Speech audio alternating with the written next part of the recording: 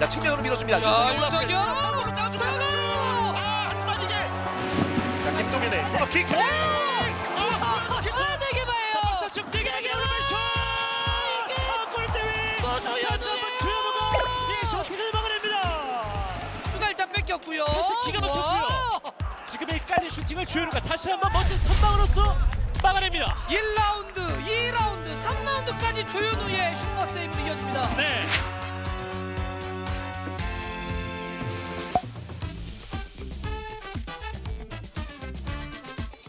조현우 키퍼를 넘지 못했습니다. 자 와, 아, 네. 잘랐는데.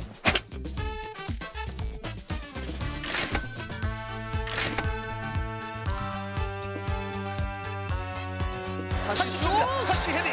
그리고 떨어져.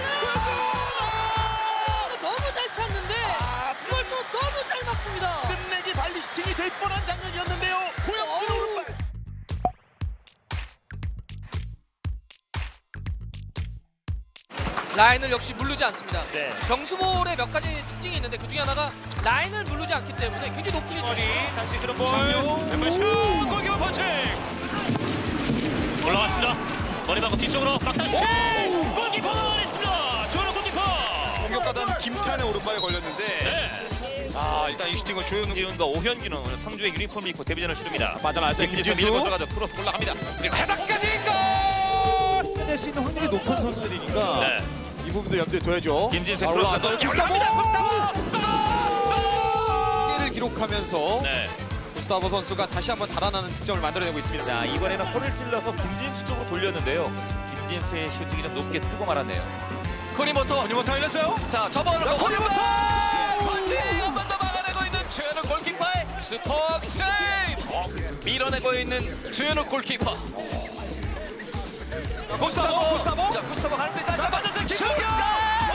슈팅을 막아내는 주현우 골키퍼. 네 지금도 좀 간결하게 구스타보 선수가 떨궈준 이후에 별로 맞섰는데 아 이게 오른발이 아, 조현우 선수가 예측을 잘해줬네요 네, 윤빛가람 맞고 흘러나온 것이 김보경의 동선에 걸렸는데요. 이걸 빠뜨리지 않고 막- 이기재가 통과하고요. 안토니스가 길게 올렸습니다.